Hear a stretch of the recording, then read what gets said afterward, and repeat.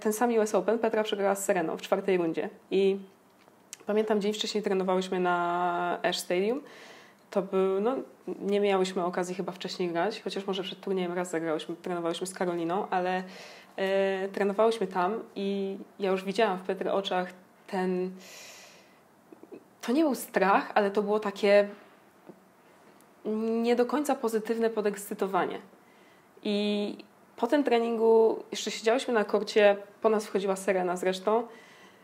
I ja jej powiedziałam, mówię, Petra, jeżeli ty jutro wyjdziesz grać przeciwko Serenie, to ty nie wygrasz tego meczu, nie ma szans. Ty musisz wyjść i, i po prostu wyjść i zagrać mecz. Tu nie ma innego wyjścia. Bo ja już widziałam, że ona myśli o tym, że ona będzie grać z Sereną Williams. Nie możesz wyjść przeciwko Serenie Williams, myśląc, że będziesz grać z Sereną Williams i oczekiwać, że, że ten mecz wygrasz. Nie, będziesz chciał się pokazać z jak najlepszej strony, tak? Ale to tyle. To jest jeszcze bardzo dalekie od wygrania. Tu musisz naprawdę wejść i wiedzieć, że idziesz tutaj po tylko jedną rzecz. I Petra tak się na mnie spojrzała i mówi, ty, ty masz rację, ja myślę, że ja będę grać z Sereną. Ja mówię, ja wiem, bo ja to tak. widzę. Tak. A ona, ale ja nie wiem, jak mam myśleć inaczej. A ja mówię po prostu, tak jak zawsze myślisz, że jak wychodzisz grać z kimkolwiek innym. Właśnie nie z Sereną, tylko z kimkolwiek innym. I jasne, to nie było łatwe, ale wydaje mi się, że w jakiś sposób ona udało jej się to przekręcić w głowie i wyszła z takim nastawieniem i naprawdę nie była, tam było 6-4, 6-3, ale nie było daleko. Bo to wiadomo, to jest taki wynik, gdzie widać, no okej, okay, są jeszcze jakieś braki, okej, okay, nie jest super źle, ale też nie jest jakoś mega blisko, ale z drugiej strony tam było widać, że kilka punktów, które poszłyby w drugą stronę i mogłoby się obrócić 6-4, 6-3 dla Pedry tak naprawdę. Niewątpliwie to też jest takie doświadczenie, które powoduje, że, że zaczynasz rozumieć, po co trenujesz, tak? Bo, bo najpierw wizualizujesz je i, i gdzieś e, wywyższasz tę serenę i uważam, że też gdzieś potajemnie ona wytworzyła, znaczy to nie potajemnie, ona wytworzyła taką aurę, chciałem powiedzieć, że świadomie, pod wieloma względami wydaje mi się, że ona buduje tę aurę, bo Serena ma kilka swoich, ja to nazywam Serena Show, jak ktoś zagra uderzenie, które ona uważa, że jest lepsze, czyli na przykład ona ma dobry forehand, a ktoś zagra forehand winner, to ona zawsze udaje tak, jakby to ona zrobiła coś nie tak, a nie ty zagrałaś świetną piłkę. Jak ktoś ją ogra, jak ona gra na maksa, wymianę w pełnym biegu, zaczyna głośno krzyczeć i ktoś ją ogra w tej wymianie, to ona zawsze na koniec krzyczy tak, jakby to było jej odpowiedzialność, nie ty dobrze zagrałaś, tylko ja mogłam coś lepiej zrobić. Ona nigdy nie daje ci ten benefit of doubt, nigdy nie daje ci takiego, takiego kredytu, że ty zagrałaś naprawdę świetnie, a potem jak, jak dziękuję ci za mecz i cię ogrywa, mówi, o, ty jesteś świetną zawodniczką, naprawdę świetnie grałaś. Ja uważam, że to jest wszystko zabieg psychologiczny jeszcze, no pomijając sam fakt, że, że jest silną kobietą, mm, sportsmenki zazwyczaj, no nie widzisz takich sportsmenek, tak zbudowanych, więc to jest trochę takie obezwładniające właśnie. I tak jak mówisz, ja też coachowałem przeciwko Serenie. Koko grała z Sereną i to było turniej, kiedy w Miami w 2013 roku Koko miała, w 2014 roku Koko miała przełomowy sezon. W pierwszej rundzie ograła pa Pawliuczenkową, w drugiej Stosur, zawodniczki z pierwszej dwudziestki i, i w czwartej rundzie miała grać e, z Sereną i wychodząc na ten mecz ona była jeszcze bardziej spięta, gdzie się wydawało, że po tych poprzednich wygranych to już wyjdzie na luzie, tak? Ale była jeszcze bardziej spięta. Ja dałem jej dokładnie taki sam coaching, jak teraz mówisz. Ty nie grasz przeciwko Serenie, tylko grasz z inną tenisistką. Tam będzie forehand, tam będzie backhand, będzie serwis. Okej, okay, serwis będzie leciał trochę mocniej, ale w związku z tym też rozgrzewkę mieliśmy z dobrym hitting partnerem, który naprawdę potrafił mocno serwować. Ale też na to wszystko pamiętaj w tym przypadku, jeżeli chodzi o coaching do Koko, to będzie pojedynek już uznanego serwisu, jednego z najlepszych na świecie, z serwisem, który aspiruje do tego, żeby być jednym z najlepszych na świecie. Cokolwiek ona zrobi, ty spróbuj to zdublować, spróbuj to zrobić lepiej, spróbuj to zrobić na podobnym poziomie. I to, co było niesamowite, Koko przegrała ten mecz 6-3, 6-2 bodajże. W moim odczuciu też ten wynik nie był aż tak gładki, jak mogłoby się wydawać. Natomiast to jej dało niesamowite paliwo do tego, że grałam z taką zawodniczką, Zagrałam kilka niesamowitych gemów i teraz jest pytanie, skoro mogłam 5 gemów zagrać na takim poziomie, czy mogę następnym razem zagrać 7? Czy mogę następnym razem urwać seta? Co takiego ta Serena robi, że, rzeczywiście jest lepsza? I tak naprawdę to, co powiedziałem na samym początku a propos tych młodszych zawodniczek, e, tych zawodniczek, z którymi teraz współpracuję. Jak doświadczysz tego, to zaczynasz rozumieć, po co trenujesz i w jakim kierunku iść. Dokładnie, bo też po tym meczu, jak rozmawiałam z Petrą, się pytałam, no to jak, jak było, bo jeszcze dzień wcześniej ja z nią grałam. Jak ja, jej, jak ja serwowałam, no to myślałam, że mi po prostu, ja sobie urwę rękę, bo próbowałam tam serwować jak najszybciej mogę, ale to tak czy tak daleko do Sereny. I Petra, Petra tak stanęła i mówi, wiesz co, yy, no tak naprawdę to wcale nie było tak szybko, jak sobie wyobrażałam.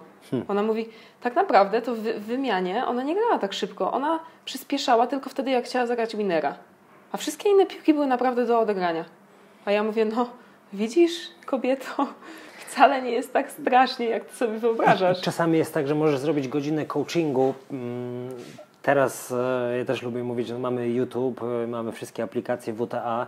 Nie ma takiej możliwości, żeby wchodzić na kor i twoja zawodniczka nie wiedziała, czego się spodziewać po przeciwniczce. W sensie, no zawsze możesz podglądać jakiś wcześniejszy mecz, pokazać zawodnikowi, czy te zawodniczki między sobą grają cały czas i, i rozumieją. Natomiast często jest tak, że dopiero jak wejdziesz na kort i doświadczysz tej piłki, to to dopiero jest dla ciebie, dla ciebie największa nauka i zarówno w tym pozytywnym stopniu, jak i w negatywnym. Tak jak Petra powiedziała, że było dla niej za wolno, a wszyscy mówią, że Serena gra tak szybko, ja się absolutnie z tym zgadzam. Nie zawsze gra szybko, ona gra szybko jak potrzebuje. Znaczy, jeżeli od pierwszego gema jesteś w stanie ją włożyć, wciągnąć na wysokie obroty i grać z nią cios za cios, no to, to Serena może mieć problemy. Z drugiej strony ona takich meczów cios na cios na, wyższy, na najwyższych obrotach już w swojej karierze zagrała bardzo dużo i ma duże doświadczenie, jak takie mecze rozstrzygać. Dokładnie. E, ale w takim razie, jeżeli te młodsze zawodniczki, one nie mają dostępu do takich tenisistek, do takiego tenisa, żeby, żeby tego doświadczyć, żeby to porównać, żeby zobaczyć, że okej, okay, może to nie jest aż tak nieosiągalne. Jak im to przekazać, że te rzeczy naprawdę są w zasięgu ręki? Wiesz co, dwa narzędzia trenerskie, które ja przyjąłem, to jest e, oglądanie dużej ilości tenisa, bo jak oglądasz, to kształtujesz pewne wyobrażenie. E, druga sprawa, nagrywanie własnych meczów, bo jak obejrzysz własny mecz, porównasz, e, porównasz to po pierwsze masz tak naprawdę taką trochę szokującą skalę, bo tu widzisz serwis, który wchodzi, backend, który wchodzi. Analizowaliśmy sobie z dziewczynami mecz Halep z Muguruzą, półfinał Australian Open e, i też e, dziewczyny miały rozpisać, zresztą mam te kartki, ilość wymian, ilość piłek zagranych w każdej wymianie. E, I wyszło, że najczęściej powtarzaną wymianą to jest jedna piłka, tak? czyli było albo serwis, albo return, średnia dla zawodnika, jedna piłka. I to też otwiera trochę oczy. Później też jak, jak na to dasz efekt kontrastu i pokażesz mecz z poziomu futuresa, gdzie widzisz, że tam jest serwis i forehand wywalony w aut i sobie zadajesz pytanie, jak mogłaś ten forehand wyrzucić, no to aż kuje w oczy. To wtedy trenersko, tak jak powiedziałaś wcześniej, ja nie muszę nic mówić, bo to kuje w oczy. miałem takie doświadczenie, czy, czy z Martyną, czy z Weroniką, że one po tym, jak obejrzały swoje mecze, ja tylko zwróciłem uwagę, że na przykład nadużywasz forehand po linii, bo chcesz za szybko zagrać winera, lepiej zagrać po krosie. Następnego dnia już w meczu wyglądało to zupełnie inaczej. Statystyka była odwrócona tych ilości forehandów zagranych po krosie po linii, więc to jest bardzo ważne narzędzie. Drugie narzędzie, które ja przyjąłem, to jest e, i które jest dostępne, to jest obecność w drużynie Fed Cupowej. To są dwa lub trzy tygodnie w roku, gdzie masz dostęp do Magdy Linet, do Igi Świątek, do Magdy Fręch, Alicji Rosolskiej i to są głosy, które zmieniają. W tym roku e, Dawid Cel powołał do, do reprezentacji jako hitting partnerkę Martynę i Martyna wróciła i powiedziała po pierwsze to jest był najlepszy tydzień tenisowy w moim życiu, po drugie dziewczyny nie marnowały czasu, ja w porównaniu z nimi jeszcze marnuję czas, mimo iż ciężko pracuję, to, to wiem, że mogę zrobić o wiele więcej. I, i to też jest akurat e, zmiana, bo, bo, bo Martyna też przechodzi akurat taki okres z juniorskiego tenisa, gdzie wcześniej, jak ja widziałem, jak ona pracowała ze swoim poprzednim trenerem, bo mamy bardzo dobry kontakt, ja zawsze próbowałem pomagać Martynie. E, trener i tata, to ja zawsze mówię, że w tym teamie na trzecim miejscu, jeżeli chodzi o motywację, jest Martyna, bo na pierwszym miejscu chciał tato, zaangażowany, próbujący dać wszelkie warunki możliwe, żeby Martyna mogła się rozwijać. Na drugim miejscu był Bogdan, który, młody trener, który miał świetne pomysły, jak rozwijać Martynę. A na trzecim miejscu była Martyna, która przychodziła pięć po drugiej na, na trening i się zastanawiała, po co my to dzisiaj robimy. Teraz to się powoli zmienia i, i Martyna zaczyna włączać coś takiego, co się nazywa um, autotrenera. Zaczyna włączać autotrenera i stawać się lepszą zawodniczką, bo sama chce być lepszą zawodniczką. Czyli tak ważne jest to ym, rozwijanie samoświadomości u zawodników, prawda? Bo oni wtedy tak naprawdę się najwięcej nauczą, bo oni wtedy widzą siebie. E, to nie jest już to, co myślą, jacy są, tylko naprawdę widzą siebie przez, no wydaje mi się, obiektywnie, bardziej obiektywnie i w tym momencie e, no każdy ma wybór, każdy może zdecydować, w którą stronę chce iść. I tutaj możemy uderzyć e, w punkt pod tytułem, dlaczego nasz tenis jest na przykład inny od tenisa czeskiego czy niemieckiego. Powodów jest bardzo dużo, ale jednym z powodów jest środowisko. 10 lat temu, sama wiesz najlepiej, jak trenowałaś, no to w polskim środowisku ciężko było znaleźć autorytet trenerski, ciężko było znaleźć zawodników. Akurat ty jesteś z rocznika 9.2, czyli rocznik Magdy, Linet, Pauli, Kani. I. Tam jeszcze, najlepszy, tak. I dookoła jeszcze były siostry Radwańskie, była Kasia Peter, więc jak gdyby to pokolenie wy siebie ciągnęłyście nawzajem, na pewno był ten element rywalizacji, ale nie wszystkie roczniki to miały. I, I niestety, bo to też a propos ostatniego programu, po którym się skomunikowaliśmy i, i, i pytania, czy ja umiem grać w tenisa, czy nie umiem grać w tenisa, ale prawda jest taka, że większość trenerów, którzy są trenerami w Polsce, to są osoby, które w najlepszym przypadku zdobyła kilka punktów ATP lub WTA. ATP są głównie mężczyźni. Czyli tak naprawdę nie masz tego doświadczenia z challengerów, a w ogóle nie masz doświadczenia z turnieju Wielkiego Szlema. Czyli tak naprawdę nie wiesz do końca, co coachujesz. Mało jest osób, które miało karierę na poziomie 700 zawodnika ATP, a potem rzeczywiście z głodem weszło w coaching, chce się rozwijać. E, u nas, i ponownie to powiem, nienawidzę tego zdania, ale u nas ktoś, kto był 500, automatycznie jest olbrzymim autorytetem i to powoduje, że staje się bardzo często leniwy nie rozwija swojego warsztatu, bo on jest 500, on jest najważniejszy w mieście, on jest najważniejszy w swoim klubie. Wszyscy do niego przychodzą i mówią: Wow, ty wygrałeś Futuresa, w związku z tym ty jesteś autorytetem. I to powoduje tak naprawdę ograniczenie naszego poziomu sportowego. Mhm. Teraz powoli sytuacja się zmienia, bo teraz już mamy zawodników, trenerów, mamy zawodników, którzy kończą kariery. Mamy Klaudię Jans, która skończyła karierę i z Klaudią jest dostęp do Klaudii. Była trenerem Fed Cupa, coachuje na co dzień w Warszawie, już przekazuje zupełnie inny poziom wiedzy. Dzieci, młodzież i rodzice, którzy trafiają do Klaudii, dostają zupełnie inny feedback, zupełnie inny coaching. Tak? Zakończył karierę Marcin Matkowski, który już działa w zupełnie inny sposób. Założył fundację, chce zorganizować turniej WTA w Polsce. Tak? Jest Tomek, czy jestem ja i teraz idzie następne pokolenie. Tak samo jeżeli chodzi o fizjoterapię. Teraz jak ty łapałaś kontuzję, to najprawdopodobniej albo musiałaś szukać jakiegoś niesprawdzonego fachowca. I było ciężko wtedy jeszcze. Albo lecieć za granicę i słuchać, co tam się dzieje, tak? A teraz już mamy tych fachowców. Jest Krzysiu Gozowski, e, jest Olek Szczciński, jest coraz więcej tych osób też z różnych innych dyscyplin, także ten poziom sportowy poszedł do góry, a będzie jeszcze lepiej, bo, bo jeszcze chwilę pograł Łukasz Kubot, e, jak zakończy karierę, to encyklopedia wiedzy tenisowej, tak? E, no i mamy Michała też przysiężnego. Jest też Michał, który też zaczyna działać i, i, i, to są osoby, które jak siadasz i rozmawiasz o tenisie, no, każdy ma inny charakter, tak? Bo możesz powiedzieć, nie wiem, czy Michał Przysiężny, czy Jerzy Janowicz, czy te osoby byłyby dobrymi coachami. To nie są osoby, które będą kształtowały dzieci od piątego roku życia, tylko to są osoby, które mogą Ci powiedzieć, co się czuje, kiedy w wielkim szlemie podrzucasz piłkę przy breakpoincie i co masz wtedy zrobić. I to jest jak gdyby największa magia mm, takich osób i to nasze środowisko pod tym względem się bardzo zmienia. Dokładnie, to doświadczenie, yy, możliwość tego, że zawodnicy będą mieli właśnie to, żeby to doświadczenie może im zostać przekazane, to też wydaje mi się będzie mieć ogromny wpływ na, no, na naszych zawodników, bo to wiadomo, e, trener może mówić to samo, a jeżeli powie to zawodnik, który był w finale Wielkiego Szlema, czy tam obojętnie w, jaki, w jakiejś tam rundzie, do której e, ci zawodnicy aspirują, no to usłyszeć to samo tak naprawdę od tej osoby to jest zupełnie coś innego. I to jest właśnie ten autorytet, który no świetnie, że mamy i że tego jest coraz więcej u nas w Polsce, Jasne. bo to musi się równać właśnie z ogólnym podniesieniem poziomu dokładnie sportowego tak, i tenisa. Dokładnie tak. Bo to też jak gdyby ma drugą stronę. Nawet jeżeli dorasta e, młody trener, który wykonuje bardzo dobrą pracę i pracuje w inny sposób, wprowadza inne ćwiczenie, E, ma zupełnie inną metodykę, to nagle na 10 innych kortach stoją ci, że tak powiem, starzy wyjadacze, którzy kiedyś byli 500 albo 700 na świecie i oni mówią, ha, co on takiego robi, gdzie on był i co on potrafi, a on tak naprawdę robi o wiele lepszą pracę niż ta pozostała dziewiątka i to bardzo często powoduje, że się zabija jego entuzjazm w tym momencie, dlatego też takie też wzajemne wspieranie siebie, ale ten wspólny głos, im więcej jest osób, które mówią dobrym sportowym językiem, E, są nastawione na właśnie open mindset i growth mindset, e, które rozumieją, że porażki są częścią pracy i rozwoju, które rozumieją, że zawodnik ma prawo mieć kryzysy, ale jak te kryzysy przechodzić, no to uważam, że, że to będzie bardzo duża różnica jakościowa w naszym środowisku. Czy myślisz, że w Polsce, porównując do no turu, bo nie możemy porównywać chyba do żadnego innego kraju, bo nie wiemy, ale wiemy jak jest na turze.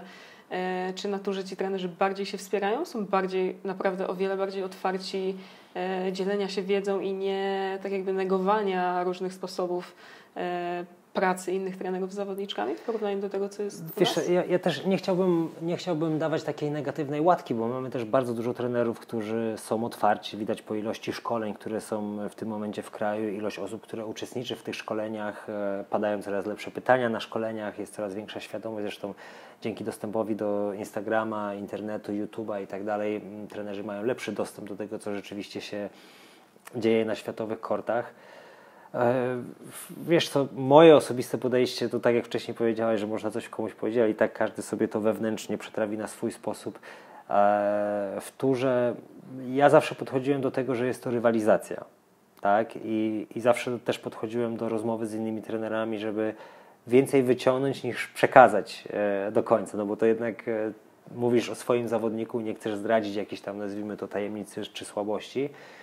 Natomiast, no wiesz, no, sama wiesz, że, że cały czas poszukujemy inspiracji dookoła. Cza, cały czas poszukujesz nowych sposobów, żeby e, pomagać swojemu zawodnikowi, żeby rozwiązywać pewne problemy. Tak? I czasami właśnie taka jedna rozmowa, nawet nie z tym topowym trenerem, ale z trochę gorszym, tym takim młodym, wchodzącym, powoduje, że myślisz, a, a to jest ciekawe. A, to, tak jak powiedziałeś, zupełnie inna perspektywa patrzenia na tę samą rzecz. E, i, i, I to powoduje, że cały czas się uczysz w środowisku krajowym nie musimy mieć tak dużo trenerów, którzy są świetnie wykwalifikowani, ale też e, dobrze by było zrozumieć, że czasami jest ten jeden trener, który. E, co to znaczy też dobry trener? No, dla pięciolatka najlepszym trenerem jest trener entuzjasta. Trener, który przychodzi na zajęcia i właściwie można powiedzieć, bawi się razem z tym dzieckiem, tak? jest w mhm. swoim świecie i świecie tego dziecka. Bo, bo gdzieś pewnie do 12-13 roku życia najważniejsze jest to, żeby zainspirować młodego człowieka, żeby on się zakochał w tenisie i żeby został przy tym tenisie. Tak?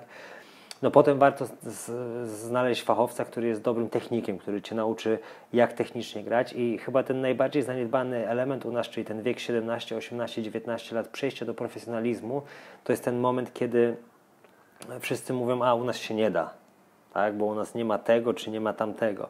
E, I to jest ten moment, gdzie też tracimy bardzo dużo, ta, bardzo dużo talenty, talentów tracimy w tym momencie, bo też bardzo często trenerzy są niekompetentni i nie są w stanie powiedzieć, co w tym momencie powinno zrobić. Ok, twój serwis leci 200 na godzinę, to co trzeba zrobić, żeby on leciał teraz 203 na godzinę, tak? Trafiasz 8 na 10, to co zrobić, żeby on trafił, żeby trafiać 9 na 10? I właśnie prawda jest taka, że jak jesteś w turze, to zaczynasz sobie uświadamiać, że to nie jest tylko twój dylemat, tylko dylemat całej setki, która tam jest. Ale jak jesteś w klubie u siebie w mieście, to się wstydzisz powiedzieć, że ty masz z tym problem i tak naprawdę, czy może ktoś ci pomo pomoże. A czasami jest gdzieś ten starszy trener, który już spędził 40 lat, ale przeczytał 20 lat temu, czy 40 lat temu, przeczytał jakąś dobrą książkę tenisową i on ci powie, że to jednak tą rękę wyrzucającą trzeba trochę dłużej przytrzymać, albo z rytmem serwisowym popracować i tak dalej, i tak dalej. Mm, czyli po prostu coś innego.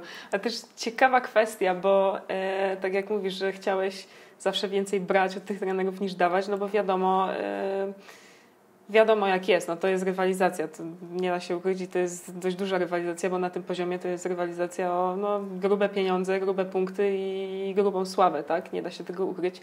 Yy, ale wydaje mi się, że też fajnie jest rozmawiać z trenerami o innych zawodnikach, bo wtedy nie zdradzasz nic, tylko patrzysz, jaki, jaka ta osoba ma punkt widzenia i czego się od niej jeszcze możesz nauczyć. Wtedy możesz mówić otwarcie, ile się da, a jeszcze z takich rozmów z trenerami na turze, to teraz właśnie zauważyłam, że wiele trenerów, e, no wiadomo, mężczyzn, bo kobiet jest raptem kilka, bardzo często rozmawia ze mną o e, takich mentalnych sprawach, z którymi się borykają ze swoimi zawodniczkami i zawsze mnie pytają, no ale jak to? Przecież ty mi to wytłumacz, ty musisz to rozumieć, bo jesteś kobietą.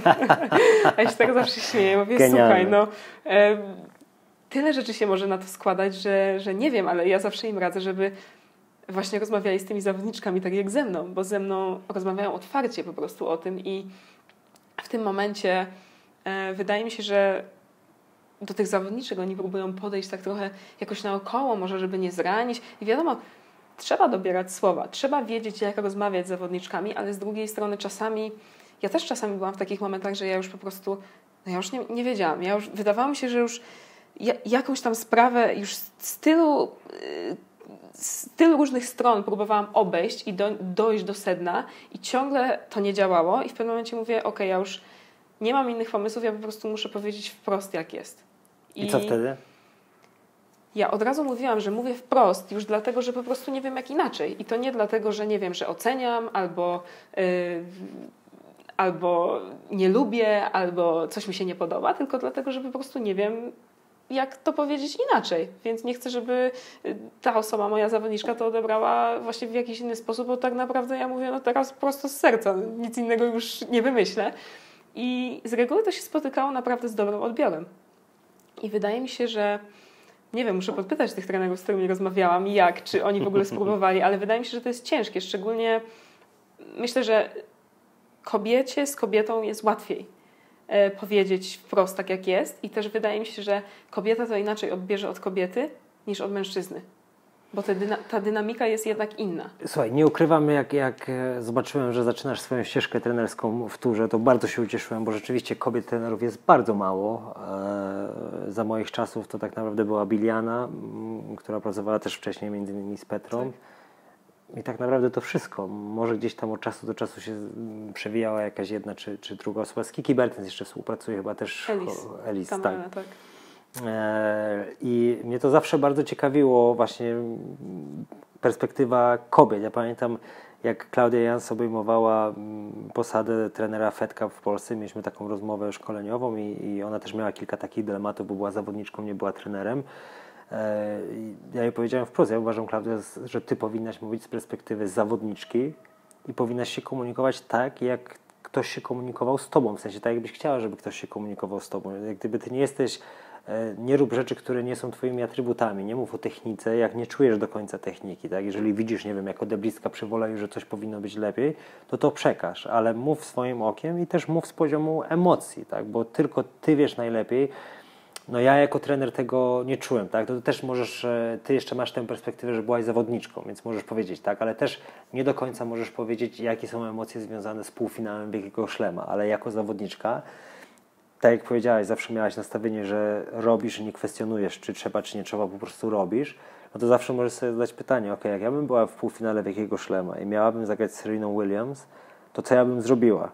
I później to po prostu przekazać w najlepszy możliwy sposób. A uważam, że też jest kwestia zaufania i autorytetu trenerskiego. Jeżeli masz dobrą płaszczyznę e, zaufania, jeżeli pokazujesz, że nie wiem, najwyższą wartością jest ciężka praca, tak? I codziennie wstajesz i ty jesteś ciężka praca, przygotowanie ty jesteś przygotowana. Zawsze jesteś na czas, zawsze ciężko pracujesz, zawsze schodzisz ostatnia z kortu przed swoją e, zawodniczką, tak? Jesteś na korcie przed, schodzisz później, jesteś zawsze przygotowana, no to wtedy możesz otwarcie powiedzieć: Słuchaj, my zrobiliśmy wszystko. Ja nie czuję, żebyśmy mogli zrobić coś więcej. My zrobiliśmy wszystko. Ja uważam, że teraz to jest Twoja decyzja. My zrobiliśmy wszystko. Czy wymagasz jeszcze czegoś więcej ode mnie?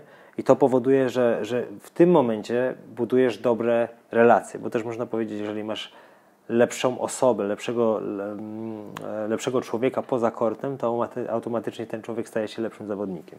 Dokładnie, dokładnie. No, pięknie powiedziane. Nie mogłam tego lepiej powiedzieć, wydaje mi się.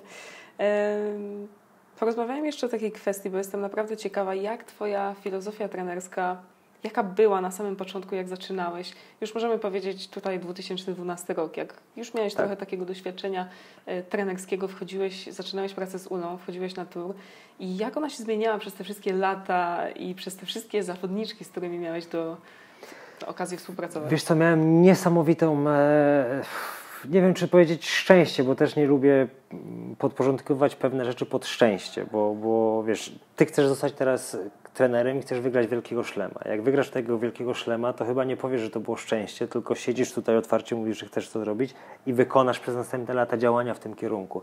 Ja zawsze chciałem być trenerem w turze, natomiast miałem to szczęście, że miałem te trzy pierwsze zawodniczki, z którymi miałem najdłuższą współpracę, były zupełnie inne, jeżeli chodzi o styl gry, potencjał i charakter. E, Ula była zawodniczką pasywną, defensywną, która raczej polegała na treningu powtórzeniowym, żeby ilość piłek zagrać i też miała taki nawyk, bo podstawową rzeczą, która, mm, którą ona się nauczyła przez lata dzięki, dzięki ojcu, który był jej najważniejszym i, i najlepszym trenerem, to, to było nie psuj piłek, nie psuj i trzymaj piłkę w korcie. I, I później robiąc cokolwiek inne, najważniejsze hasła to były nie psuj i trzymaj piłkę w korcie pod ale, presją. A na pewno, przepraszam, że ci przerwę, ale na pewno ci, e, jestem pewna, że chciałeś, żeby Ula stała się też bardziej agresywna na korcie, prawda? No to jest potrzebne. Jasne, jasne. I tu... Jak ciężko jest to z zawodnika wyciągnąć? Bo ja mam teraz to samo z Alizę. Aliza miała przez pierwsze 10 lat swojej e, no, kariery, jak zaczyna grać, tego samego trenera. I podstawowym hasłem było nie psuj. Nie psuj piłek. I ona teraz na treningu, jak ona zepsuje piłkę, to to jest koniec świata. A ja mówię, Alizę, ja chcę, żebyś ty psuła ile wlezie. Bo mówię, jeżeli ty będziesz wszystko w kort trafiać, to znaczy, że nie robimy wystarczająco dużo. Jak trafiasz w kort metr od linii, to celuj pół metra od linii. Jak zaczniesz trafiać pół metra od linii, to celuj 10 centymetrów od linii, bo my musimy tą poprzeczkę podnosić. Ale mimo tego, że to jest tak doświadczona zawodniczka, jej jest naprawdę ciężko o tym zapomnieć. Ona cały czas mi mówi, bo ja przez 10 lat miałam tego trenera i on mi mówił nie psuj, i nie psuj, i nie psuj. I ja cały czas nie chcę Ale to nie jest żadne usprawiedliwienie. To znaczy, Dokładnie, tak. Bo jej, jej hard drive, czyli jej ten, ten, ten, ten, ten twardy dysk w mózgu jest zapisany taki, żeby nie psuć. Co więcej, ona ma na to ma nałożone 60 meczów na sezon razy 10 sezonów, 600 meczów, w których ona pod presją próbowała nie zepsuć. To jak teraz zrobić, żeby ona zagrała inaczej? Ja miałem bardzo podobną historię z Koko, który, jak ja zadałem pytanie, co to znaczy dobry serwis, ona powiedziała walnąć 200, czyli szybkość serwisu było dla niej największą wartością. I to, I to miało dwa aspekty. Jak wyszła w mecz, jak wchodziła w mecz i nie trafiała szybkiego serwisu, to serwis się rozlatywał, bo nie ma szybkiego meczu, e, serwisu. Jak wchodziła na mecz i ktoś potrafił zaserwować szybciej od niej, to ona była przestraszona, no bo ktoś ma lepszy atrybut, bo ona wierzy w szybkość serwisu, tu ktoś gra szybko, to jak ja mam Ciebie ograć, jak Ty grasz szybciej ode mnie? I zmiana podejścia do tego, co to znaczy dobry serwis, no my sobie zdefiniowaliśmy, co to znaczy dobry serwis. Dobry serwis to jest taki serwis, którym potrafisz zagrać mecz, nie będąc przełamanym. I teraz pytanie, czy potrafisz tak zagrać? Czyli tak jak trochę mężczyźni grają, bo te najlepsze męskie mecze są takie, że nie ma przełamań. No i powstaje pytanie, czy potrafisz to zrobić? No i zawodnik musi odpowiedzieć tak czy nie. To co musi zrobić, co musi zrobić, żeby tak zagrać? A później poszukujesz tych meczów, między innymi na sparingu, tak? Ja bardzo lubię grać sparingi z bardzo słabymi przeciwnikami, bo wtedy możesz sobie iść celami z tymi przeciwnikami i na przykład wychodzisz z zawodniczką która gra na poziomie, jesteś w pierwszej setce, ona gra na poziomie college'u i mówisz, ok, masz z nią zagrać trzy sety i nie możesz zostać przełamanym ani razu. Tak? Czyli musisz za każdym razem wygrywać serwis non-stop, żeby budować tą perspektywę, że, że, że, że można w ten sposób grać, że można grać nie będąc przełamany. I tak naprawdę to reframe, czyli te, te zmiany tego mindsetu, też z Mirianą miałem podobne, to o czym opowiadałem zresztą wcześniej, jeżeli chodzi o wiek. Ona była przekonana, że jest starą zawodniczką. Jeszcze wtedy nie było zawodników takich, znaczy był Federer, ale Federer miał, miał podobny wiek, e, był w podobnym wieku co Miriana. Nie było zawodników takich jak Venus, która, która by grała w wieku 37 i 8 lat. Wtedy jak wiesz, że ktoś ma 38 lat i gra na wysokim poziomie, a ty masz 33 lata, no to sobie myślisz, hmm, jeszcze 5 lat tak różni to nie jest tak źle. Ale to był właśnie, Miriana była jedną z tych pierwszych zawodniczych, która w tak jeszcze zaawansowanym wieku potrafiła jeszcze grać na wysokim poziomie. I też przełamanie tego przekonania było szalenie ważne. Tak samo jak przekonanie, ona wcześniej e, trenowała z Hulim Alonso i, i, i z innym hiszpańskim trenerem i była przekonana, że musi grać 6 godzin dziennie, gdzie w rzeczywistości to wyglądało tak, że jak w poniedziałek zagrała 6 godzin na dobrej intensywności, tu były dwa scenariusze, albo rzeczywiście oszczędzała siebie, bo wiedziała, że nie będzie miała siły na piątą, szóstą godzinę, gdzie trening nie miał sensu, bo grasz cały czas na 60%, to nie ma sensu. Tak. A więc ona w poniedziałek, nawet jak odpięła i zagrała niesamowicie, no to wtorek, środa, czwartek, jeszcze piątek dochodziła do siebie. Więc jaki jest, jaki jest sens zagrania czterech dobrych godzin czy sześciu dobrych godzin w poniedziałek, jak do końca tygodnia nie masz żadnej jakości? Częsty problem częsty problem. O, I to kolejna rzecz, tak, żeby, żeby wprowadzić dobrą jakość gry i zdefiniować, co to znaczy dobra jakość gry. Tak? Eee, no, I to między innymi z Mirianą była ta praca. Pytałaś o to, e, jak się zmieniła filozofia. Na samym początku powiedziałem, że e, e, byłem też, mimo iż byłem postrzegany jako pozytywny trener, to, to, to, to jak nie pracujesz w turze, to komunikujesz się w sposób taki, że jak tego nie zrobisz, to nie będziesz tak? A kto ma jak gdyby kto jest kim, żeby móc powiedzieć komukolwiek, że nie będzie w czymkolwiek dobry, tak? Często się tak komunikowałem. Potem miałem zupełnie inne wyobrażenie, jak to powinno wyglądać. Nawet jak już widziałeś w turze na wielkim szlemie, jak trzeba zagrać forehand, żeby zagrać winnera, to potem jest Ci łatwiej zobaczyć na poziomie klubowym, ktoś odpala forehand winner taki sam, jak widziałeś tam i powiedzieć, hej, ten forehand jest, jest special, ten forehand jest wyjątkowy i tym forehandem możesz zdobywać góry. Tak? A jak nie masz tej perspektywy, jak nie masz tego doświadczenia, jak byłeś tylko zawodnikiem 700, no to ciężko jest powiedzieć z tej perspektywy i wtedy będziesz zawsze mówił o jeszcze lepiej, wyżej, szybciej i tak dalej, i tak dalej. Też praca z zawodnikami z, z turu, bardzo często te zawodniczki są dobrze ukształtowane technicznie, więc nie masz aż tak dużej pracy pod względem technicznym. Możesz bardziej się skupić nad taktyką i rozwojem taktycznym. No i tutaj też e, jak gdyby musisz zwrócić uwagę na pojemność swojego zawodnika, tak? Czyli czy on jest otwarty na to, czy widzi te same rzeczy. Ja pamiętam, e, Miliana grała mecze, przegrywała 6-4 w trzecim secie, na przykład z Kerber w Montrealu ja, uważam, ja uważałem, że ten mecz powinna wygrać. Ona schodziła cała zadowolona, co też już powodowało jakąś tam rozmowę. Natomiast później analizowaliśmy, oglądaliśmy CD tego meczu i ona mówiła: cholera, ja to zupełnie inaczej widziałam. Mi się wydawało, że ona mi tutaj tak niesamowicie przyspieszyła. Tu wolna piłka, przecież ja mogłam tak. dobiec, ja powinnam ją tutaj skończyć. Przecież to był mój mecz, to ja powinnam wygrać ten mecz. Um, więc na pewno było mniej pracy takiej czysto technicznej. No i to też powiedziałaś na samym początku. Ogólnie ja wyszedłem z założenia i to zmieniło się we mnie, że nie ma co zawodnika krytykować i właśnie sposób komunikacji, rozmowy, dobór słów, nawet jak ktoś zrobi coś źle, no to możesz powiedzieć, ok, zatrzymajmy się, nie musisz mówić, że ta wymiana była zła, tylko ta wymiana nie była zgodna ze standardem, do którego dążymy, tak? E, ta wymiana mogła być dobra, ale dobra na jakim poziomie, do którego my dążymy. No i też musisz być jak gdyby sensytyw, czuły na punkcie, którym momencie jest Twój zawodnik. Jak Twój zawodnik jest totalnie zdołowany, bo miał trzy porażki z rzędu, no to warto wrócić do takiego treningu, który powoduje, że on się to, czuje w drugą stronę, totalnie zmotywowany, tak? a nie dodawać mu jeszcze i powiedzieć, przegrałeś trzy razy, no to teraz dostaniesz w kość. Czasami są takie, takie pasy, że, że zawodnik przegrywa mecze bardzo bliskie i czuje, że po prostu musisz szlif zrobić, musisz go trochę złamać, żeby on uwierzył, że może pójść dalej, ale to wszystko jak gdyby trzeba bardzo mocno... Wyczucie. wyczucie, trzeba obserwować, trzeba rozmawiać, komunikować. Ja naprawdę nie wierzę. To też niesamowite a propos coachowania grupy teraz. Mam trzy zupełnie różne zawodniczki, które wymagają trzech różnych sposobów komunikowania się.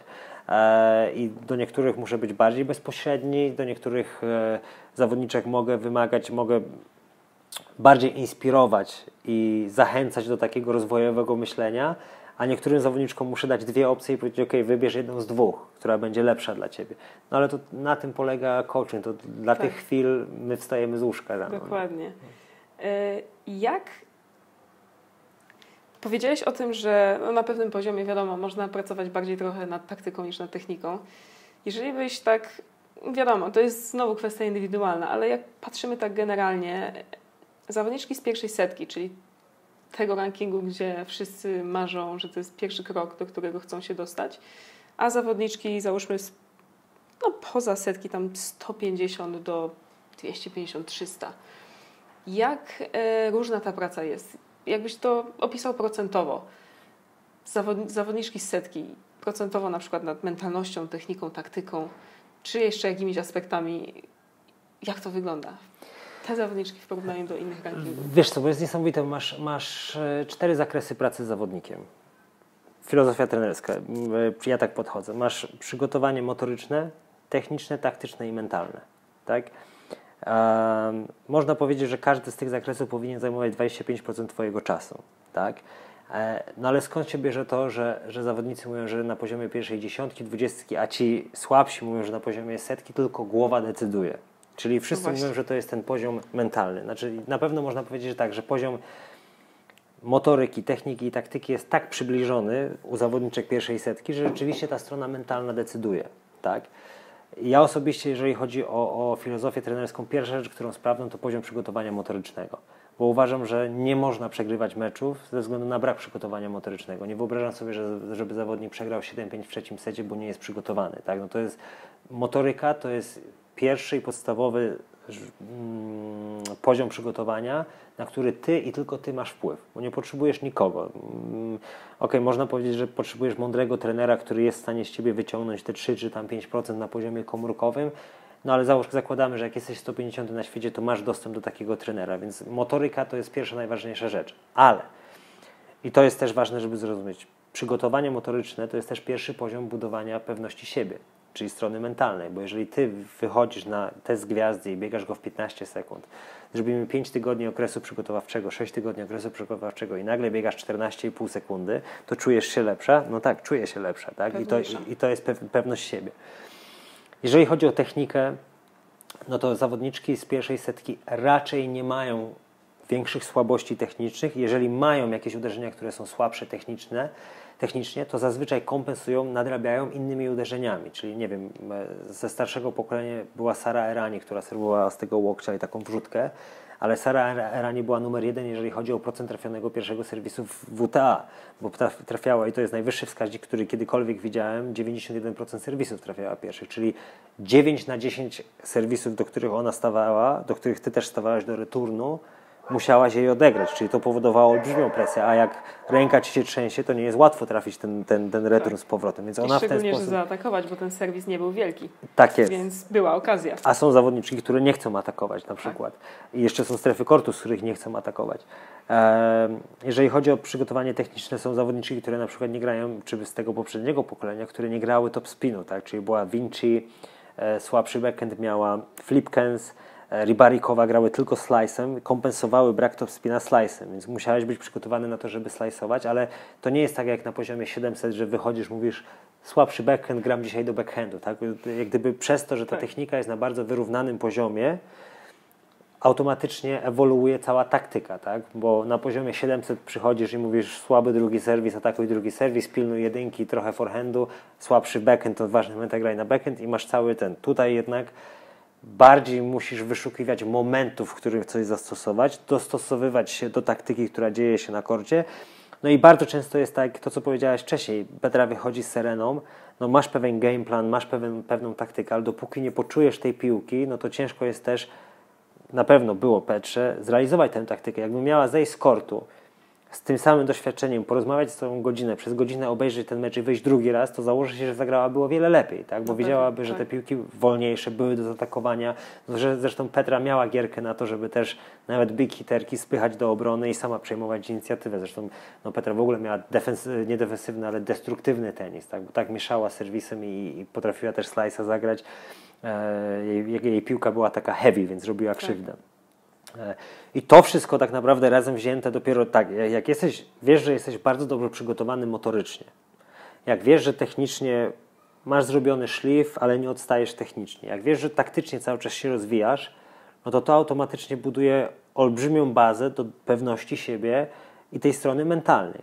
Jak nie masz dobrego przygotowania motorycznego, to nie mówmy o pewności siebie. Jak masz dziury techniczne, no to możesz godzinami spędzać czas z psychologiem, regulując emocje, robiąc ćwiczenia oddechowe, robiąc wizualizacje, zapisując na kartce cele, ale jak nie umiesz zagrać backendu, to ci to nic nie pomoże, tak? Więc jak gdyby krok po kroku, i to jest moja filozofia trenerska, ja od tego podchodzę jak gdyby zawsze. Motoryka to jest najważniejsza rzecz. Jeżeli nie wstałeś się nie porozciągałeś, jeżeli wiecz wieczorem idąc spać czegoś nie zrobiłeś, jeżeli boli cię pośladek, bo nie wiem, nadwyrężyłeś w jakiś sposób, pod warunkiem, że to nie jest biomechanicznie, no to jak gdyby nie mówmy o tym, że chcesz być wyczynowym zawodnikiem. To jest Twoja podstawowa e, sprawa i twoj, Twój podstawowy zakres przygotowania, o który Ty musisz zadbać, tak? Technika u młodszych zawodników, słabszych zawodników to też jest kwestia trenera i, i podejścia do techniki i nauczenia, ale też nauczając techniki, spędzajmy technikę czy taktykę, spędzajmy 70% czasu yy, nad brońmi nad tym, co powoduje, że ty wygrywasz, bo później mechanizm jest prosty, tak jak powiedziałaś. U Alizy mechanizm jest prosty, nie psuj bo 10 lat słyszała nie psuj. A teraz jakby Alize przez 10 lat słyszała śmiało graj jedynkę i podpieraj to forehandem, a backhand jest bardzo dobry i prowadź, jak wchodzisz z kimś w wymianę z backhandu, to nie schodź z wymiany. Jak gdyby prowadź do końca, aż ty rozwiążesz akcję, to by była zupełnie inną zawodniczką, tak? Znaczy ciężko powiedzieć, bo to mogło pójść w dwie strony, tak? Akurat Alize akurat potrafi być bardzo dobrą defensorką w niektórych momentach i zgadzam się z Tobą, że, że jej do tego, żeby przejść na następny poziom musiałaby albo stać się niesamowita wydolnościowo i być w stanie, powiedzmy z poziomu, gdzie ona gra 8 piłek na wysokich obrotach, nagle zagrać 9-10 i pytanie, czy jest w stanie to zrobić motorycznie. Eee, niektórzy zawodnicy wychodzą, nie wiem, z takiego, znaczy u niektórych zawodników nagle jest taki skok, ale często jest na przykład to związane z dopingiem, tak, że masz zawodnika, który gra bardzo fajnie, fajnym tempem 6 piłek, a następny sezon wychodzi i nagle nie psuje w ogóle, tak, czyli widzisz, że coś tam jest nie tak. E, więc u Alize albo byłaby w stanie motorycznie grać na takim poziomie, że będzie w stanie zajechać Woźniacką, Halep, wszystkie inne pozostałe zawodniczki, które grają pasywnie, ale też będzie w stanie tym pasywnym stylem zajechać Serenę, czy, czy, czy w tym przypadku Kenin, Osakę, czy te młode, które wchodzą. E, albo iść w drugą stronę, tak? Rozwijasz część, no to już jak gdyby to już jest w tym przypadku dylemat trenera, czyli tak naprawdę twój dylemat. Tak. E, fajna, super filozofia, bardzo konkretna. Także słuchajcie wszyscy, bo jak dla mnie jest pięknie, jest, to nie, nie, nie, że pięknie, jest bardzo prosto wytłumaczona i jest naprawdę krok po kroku którą stronę trzeba iść, w jakim kierunku i też jakimi krokami. I to jest, to jest naprawdę super. I to też a propos komunikacji, bo, bo to już na przestrzeni naszej rozmowy padało kilkukrotnie. Uważam, że jeżeli chodzi o tenis kobiecy, ale może też nie do końca kobiecy, ale ogólnie sport wyczynowy, to prostota w komunikacji. Mm, słyszałem, jeżeli chodzi o taktykę, takie, takie pojęcie simple patterns to perfection, czyli proste schematy opanowane do perfekcji ja pamiętam, jak byłem młodszy, i to też e, różnica trenerska, jak oglądałem tenis w telewizji, to mi się wydawało, że oni grają no nieziemski poziom, że to, to jest poziom, który w Żarowie na pewno nie zobaczył u siebie w rodzinnym mieście. Natomiast prawda jest taka, że ci najlepsi to grają proste schematy opanowane do perfekcji. Oni potrafią ten pierwszy serwis zaserwować w kropkę i potrafią to zrobić w każdym momencie, przekierować piłkę w drugą stronę. Tak?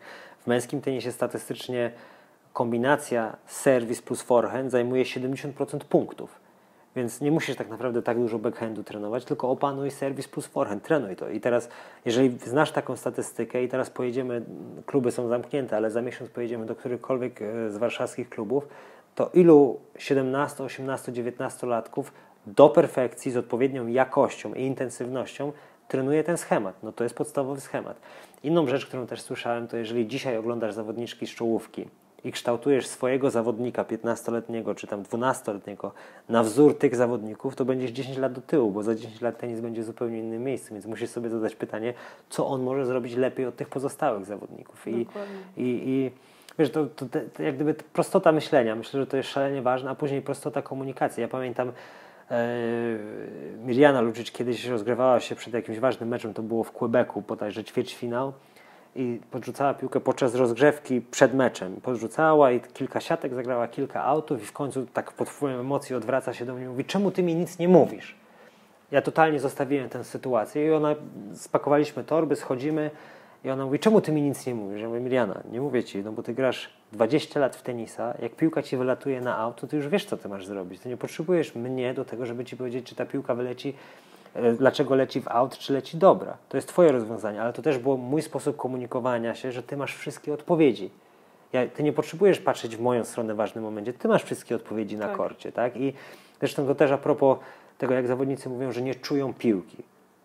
To kontrargument jest taki, no przecież grasz 4 godziny dziennie, odbijasz, można obliczyć ileś tam tysięcy piłek, trafiasz w te, w te strefy, kropki, pachołki, to jak nagle możesz nie czuć piłki? Bo założę się, jak statystycznie mielibyśmy wyprowadzić statystykę, kiedy zawodnik mówi, że nie czuje piłki, to zazwyczaj się to staje w o wiele większym stopniu, zdarza się to w meczach pod presją. Kiedy jest ważny mecz, to wtedy zaczyna się panika, rozglądanie lewo i prawo.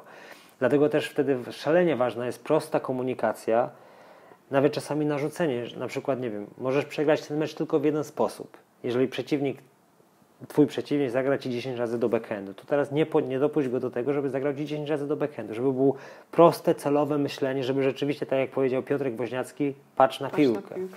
Tak, dokładnie. E, I to jest chyba też temat przewodni dzisiejszy, prostota tego, jak bardzo często e, myślimy, że żeby dojść na jakiś poziom, to trzeba wow, nie wiadomo co, że jest jakiś złoty środek, coś musi istnieć, coś, czego ja nie mam a prawda jest taka, że to jest wszystko to samo. Ciężka praca, co wydaje mi się też jest. E, ja nie lubię tego pojęcia ciężka praca, bo to się kojarzy z taką charówą. Mhm. A moim zdaniem charówa nic nie daje, jeżeli ona nie jest mądra. Jasne. Praca musi być Jasne. Efektywna. I, I to jest tak naprawdę najważniejsze, bo ja też zawsze miałam tak naprawdę to wbijane do głowy, że jak będziesz ciężko pracować, no to wtedy coś osiągniesz. A teraz ja na to patrzę i po prostu mówię, nie, to w ogóle nie jest prawda. Ja wiem, jak, e, jak pracowałyśmy z Petrą i w pewnym momencie ona też miała dużo problemów z ciałem, tak? Dużo no wyszła z kontuzji, z której tak naprawdę większość myślała, że już nie wyjdzie i grała dalej, ale ciągle te plecy były, no musiałyśmy naprawdę na nie uważać dość często. Oprócz tego, wiadomo, zawsze się pojawiały różne inne rzeczy, jak to się pojawiają w sporcie, no, nie da się tego uniknąć. I w pewnym momencie takie normalne treningi, one się stały niemożliwe. I ja wtedy mówię, ok, no to jeżeli nie możemy sobie założyć, że trenujemy dwie godziny dziennie na korcie, musimy robić mniej, to jak, jak możemy przynieść, jak możemy stworzyć tą jakość w krótszym czasie tak naprawdę. I doszliśmy do tego, że trenowałyśmy półtorej godziny dziennie i jak już nawet ciało było, wszystko było ok, to nawet nie, nie trenowałyśmy dłużej, bo już to nie było potrzebne. Ona grała, ona miała najlepsze swoje wyniki z trenowaniem tak naprawdę no, między półtora a dwie godziny dziennie, czasem nawet trochę mniej. I to było dla mnie zaskakujące. Wtedy naprawdę zrozumiałam, że okay, to nie trzeba stać 4 godziny na korcie, tylko trzeba po prostu wymyślić sposób na to, jak ten trening tak zorganizować i też sprawić, żeby ten zawodnik uwierzył w to, bo wiele zawodników też w to wierzy, że oni muszą te bo ona gra 4 godziny, no to ja też muszę przynajmniej 3, no bo jak ja zagram dwie, to przecież to ja robię o wiele mniej, tak? No nie, tak nie jest do końca, bo każdy trening jest inny, wiadomo, każdy zawodnik jest inny i to się inaczej rozkłada i żeby to wszystko ogarnąć, kolejny aspekt pracy trenera, który nie jest łatwy, ale tak ważna jest w tym prostota, żeby myśleć po prostu prosto i logicznie. Absolutnie. Absolutnie. Tak jest. E, wiesz co, jeszcze jedną rzecz chciałam poruszyć, ponieważ e, naturze teraz SAP Analytics, czyli y, platforma do statystyk, do analiz, jest, no, wydaje mi się, wiele trenerów z niej korzysta. Pod koniec zeszłego roku, y, albo na początku tego, już chyba pod koniec zeszłego roku to było, oni wprowadzili tą funkcję Patterns of Play, schematy gry, gdzie można naprawdę zobaczyć y, no, większość meczy z bodajże ostatnich 8 lat na pewno jest większość meczy można zobaczyć po prostu piłka po piłce w każdym punkcie, w każdym gemie, secie i meczu. Um, ostatnio, to było dwa tygodnie temu, nie wiem, czy też z tego korzystałeś, był taki webinar z, z Wimem, z Wimem Fiset, mhm. tak, mhm. gdzie on Y, po prostu pokazywał, jak korzystać z tego Patterns of Play. I w ogóle z, z, całego systemu SAP Analytics, ale ja pamiętam, jak to wyszło, to nie bardzo wiedziałam, jak się z tym obchodzić. Także ten webinar mi strasznie pomógł, bo on wytłumaczył to w mega prosty sposób. I teraz ym, wiadomo, no, jest to ogromna pomoc dla trenerów na turze, ponieważ szczególnie u kobiet no jest, rzeczy się powtarzają i te taktyki można rozpracować, a jeżeli jeszcze możemy je naprawdę tak jak podpiąć statystyki do tego, czyli potwierdzić to, co widzimy własnymi oczami, albo nie potwierdzić, ale tak czy tak będziemy widzieć, jakie są rezultaty, co te dziewczyny robią, no to to daje duże pole do popisu trenerom w ustalaniu taktyk na te dziewczyny, tak? Ja myślę, że to jest tylko kwestia czasu, że takie statystyki, takie analizy wejdą też do niższych poziomów, do ITF-u, do juniorów. Może nie będziemy tego widzieć za rok, dwa, ale myślę, że za 10, 15 lat to powinno być z tym rozwojem technologicznym, tak, jaki jest. Może stać się standardem, tak. tak. E, wiesz co, na pewno uważam, że, że to jest bardzo dobre narzędzie do pracy i tak jak powiedziałaś, jest stare powiedzenie, że obraz jest warty tysiąc słów, tak. E, większość z nas jest wzro wzrokowcami i tak jak czasami rozmawiasz z zawodnikiem, mówisz, słuchaj, to powinno być tak. To jest zresztą klasyczna sytuacja, zawodnik schodzi z meczu, i czasami jest tak, że rozmawiasz i widzisz, że ten zawodnik widział ten mecz zupełnie inaczej niż ty. Dokładnie. Co jest ok, bo on widzi z perspektywy kortu, ty widzisz z perspektywy boku kortu, tak? Natomiast jeżeli chcesz coś przekazać, no to, to zresztą Becker o tym mówił e, a propos rozwoju Dżokowicza w rywalizacji z Nadalem. Powiedział, że, że e, mm, Djokovic był przerażony, kiedy musiał prowadzić wymianę crossową do Nadala backhandu, kiedy musiał grać swoim forehandem do Nadala backhandu, tak? E, I, I dopiero Becker, jak mu pokazał statystycznie, że może go ogrywać w tym schemacie, to, to podobno odmieniło totalnie ich rywalizację. Uważam, że to jest bardzo ważne narzędzie, aczkolwiek też e, z mojego doświadczenia pamiętam, jak Krystyna McHale miała grać Sasnowicz na Australian Open w 2018 roku. I USTA okazuje się, że też prowadzi własną bazę danych. Mm, tak, to chyba wszystkie federacje te największe. Teraz tak, mają... tak, już pomijając, że Amerykanie wykorzystują najlepszego statystyka Francuzów i na zmiany tam naprawdę jest Bo taka ja giełda. wiem, że Australia to już ma od, już od grubych paru lat i to już A to nie oni, wiedziałem, oni mają tak. nawet e, wszystkie mecze ITF-owskie, jakie są O, na wow. poziomie O, wow, to nie wiedziałem. 25, tam tak. W każdym razie ja wiedziałem o Sosnowicz, że ma słabszy drugi serwis i słabszy forehand i dostałem przed meczem, trzy dni przed meczem, 15 stron analiz, z których wynikało, że ma słabszy drugi serwis i słabszy forehand. Natomiast fajne było to, że też e, ta statystyka była podzielona na tak zwany crunch time, czyli co się dzieje od stanu po 4, czy schematy się zmieniają. I to było ciekawe, żeby zobaczyć, że tam rzeczywiście pojedyncze uderzenia, czy pojedyncze momenty, kiedy wybierała zamiast serwis na zewnątrz, serwis do środka, to rzeczywiście się zmieniało. Natomiast też też nie możemy popełnić błędu, tak jak wcześniej mówiłem, jak są te wszystkie poradniki, jak to zrobić, żeby być kimś tam i bierzemy mistrza i go rozbijamy na czynniki proste. Nigdy nie wiemy, co ten mistrz w trakcie myślał, jak się czuł i jak to przechodził różne sytuacje. Tutaj tak samo nie możesz czasami, jak zobaczysz czystą statystykę, to ta sama statystyka nawet dwóch zawodniczek nie powtórzy się następnego dnia, tak? bo, bo tenis jest sportem tak różnorodnym. Nie wiem, czy znasz um, statystyki, ile punktów procentowo wygrywa zawodnik, który jest numer jeden na świecie na koniec sezonu, czyli wszystkie punkty to są 100%. Ile punktów musisz wygrać, żeby być numer jeden na świecie? 54 to było, tak? 54, dokładnie. Więc 4% i, i to jak gdyby pokazuje drugą stronę. To powoduje, że żeby zostać numer jeden na świecie, musisz wygrać 54 punktów, procent punktów. To znaczy, że też przegrywasz 46% i musisz sobie z tym poradzić. I właśnie chyba ta różnica, jak sobie oni radzą z, tą, z, tą, z tym 46%, to powoduje, że jest ta różnica właśnie, tak? A później jest dalsza statystyka, że nadal wygrywając 10 czy, czy ile wygrał French Open, e, ponosząc tylko dwie porażki w ciągu 12 lat, wygrywał 50 5%, chyba 1% więcej, że to tak, była i tak wiesz, co minimalna jeszcze różnica. w tej statystyce było, że yy, bo największa różnica Nadala na ziemi pomiędzy innymi nawierzchniami była różnica w wygrywaniu gemów returnowych. I największa różnica w tym było w trafianiu returnów, czyli tyle, ile returnów po prostu wróciło na drugą stronę. I ja w zeszłym roku, jak ja e, dorwałam się do tych statystyk Nadala, bo ja uwielbiam go po prostu za wszystko, za jego grę, za jego styl, za jego waleczność, za to, że jest takim normalnym człowiekiem i pokazuje, że naprawdę można być taką ikoną, będąc po prostu człowiekiem. Bo jak patrzymy na Rogera, no to wiadomo, on też jest tylko człowiekiem, ale to jest coś więcej. To, taki, on takie sprawia wrażenie i tak zawsze będzie. Nadala ja widzę jak takiego po prostu, że tak brzydko powiem, robola, który wychodzi i robi tą brudną robotę i Tak. wiadomo, Roger robi to samo, tak? To nic Tak. mu nie, nie ujmuje, tylko po prostu ten wizerunek jest inny. I ja go za to uwielbiam. I jak ja się do- dorwałam do tej statystyki, zobaczyłam, że największą różnicą są te returny, które on trafia. E, Przed, jak zaczęliśmy się przygotowywać do sezonu ziemnego w Europie, już pograłyśmy w Charleston w zeszłym roku, pierwszy turniej na ziemi, gdzie Petra doszła do półfinału, potem wróciliśmy do Europy, był e, Istanbul, Madryt, Rzymu nie grałyśmy i French Open. I to, była, to był naprawdę mój wykładnik. Mówię, dobra, zobaczymy, zróbmy to, spróbujmy zrobić. Ja mówię, Petra, na ziemi teraz nie ryzykujemy z returnem. Retur, pierwszy serwis zawsze wraca, zawsze. Mówię, nie, nie próbujesz go, nie wiem, trafić nie wiadomo gdzie, tylko po prostu big target, middle, czyli w środek, głęboka piłka i ten, ser, ten return twój zawsze wraca. Drugi serwis ryzykujemy tylko wtedy, jak masz dwa punkty przewagi.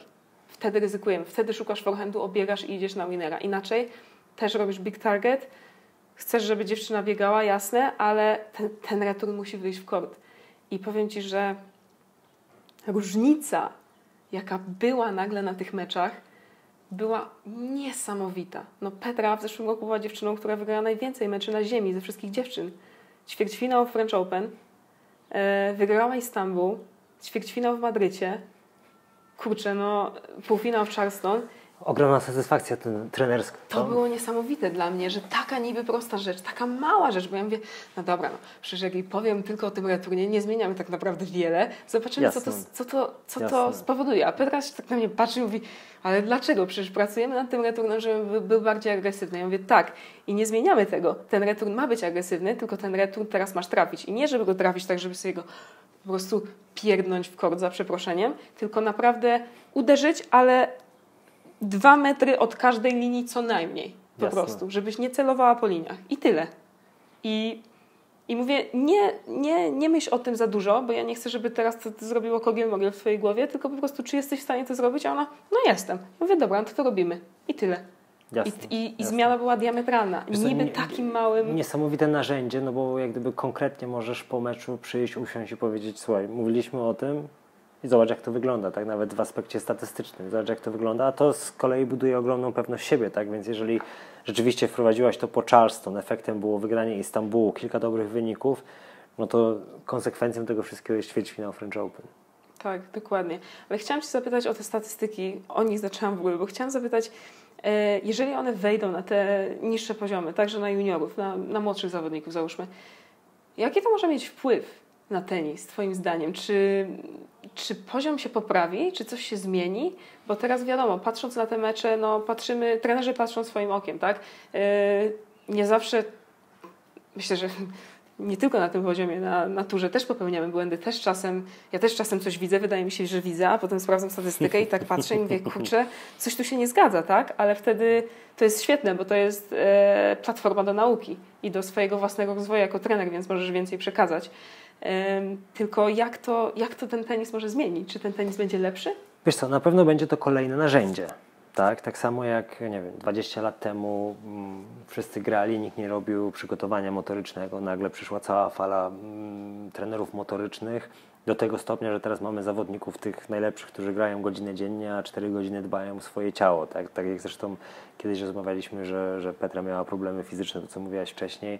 Znaleźliście w Krakowie swojego osteopatę, tak, i, i to wiele zmieniło. Tak, zupełnie zmienia się jak gdyby podejście że to nie trzeba tak dużo trenować. Uważam, że będziemy mieli dzięki temu mądrzejszych zawodników, zawodników bardziej nastawionych na, na statystykę, na to, żeby oglądać i, i, i wzrokowo mieć potwierdzenie tego, co się dzieje. To będzie kolejne narzędzie. Po prostu będzie lepsze, lepsze pokolenie e, zawodników pod względem taktycznym i mentalnym. I chyba też trenerów, co też jest mega ważne. Czyli Niewątpliwie, bo, bo te statystyki, o których mówiliśmy, że, że zawodnik numer jeden na świecie wygrywa 53 czy 4% punktów, które zagrywa i tak dalej, ta kombinacja serwis plus forehand, te wszystkie staty, statystyki, jak ja je zobaczyłem po raz pierwszy, to sobie powiedziałem, kurczę, to ja oglądałem przez 20 lat inną grę zupełnie, tak, no bo to nie jest to, co widzisz gołym okiem, a z Dokładnie. kolei jak to przeczytasz, to jest takie coś, co nie jesteś w stanie un- unsee później, tak. Tak. Tylko widzisz cały czas, że rzeczywiście oni serwują serwis i forehand, ale też dzięki temu widzisz, które piłki wypadają poza schemat.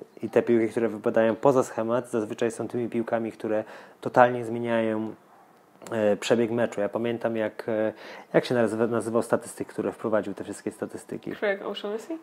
Craig O'Shaughnessy opowiadał, jak e, Djokovic grał ze Zverevem w finał Mastersa. Spotkali się w grupie, w fazie grupowej i on, według niego kluczem Djokovicza do ogrania Zverewa było to, że mm, ogrywał go w wymianach powyżej 9 piłek. E, I tych wymian było na przestrzeni całego meczu tam 12 czy 15 i Djokovic wygrał 70% tych wymian. Natomiast i to było w fazie grupowej. I trzy, trzy dni później spotykają się w finale i mówi, że jedna z pierwszych trzech wymian w meczu wchodzą w taką wymianę 22 piłek i Zverev ją kończy na pełnym bezdechu, kończy winerem z backhandu.